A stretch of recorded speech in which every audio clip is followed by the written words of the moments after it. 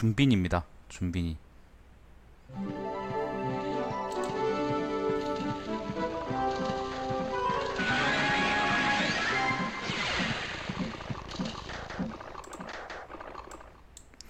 (1996년작) 수학 수학 논리 여행 준빈이 얼마 전까지만 해도 준빈이들은 행복하게 살고 있었답니다.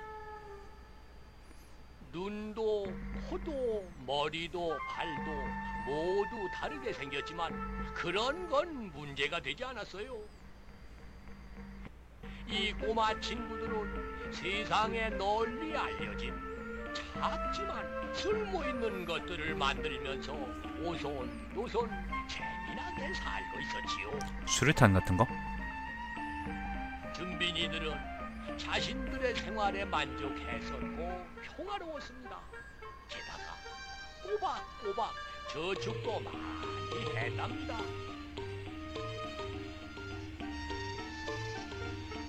그런데 어느 날 누가 나타났는지 아세요?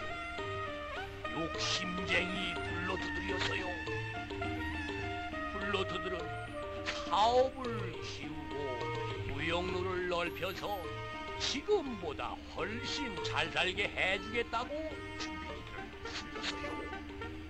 워낙에 순진한 준빈이들은 그들의 제안에 동의했답니다.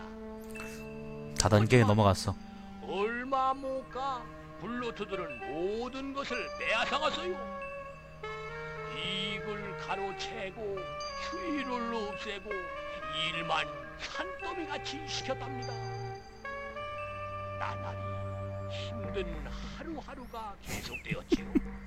떨어지는 것 좀 봐. 자, 더 이상 참을 수 없게 된 준빈이들이 대책을 세우기 위해 모였는데 마침내 준빈이들은 섬을 탈출해 멀리 떨어진 곳에 새 마을을 세우기로 결심했습니다.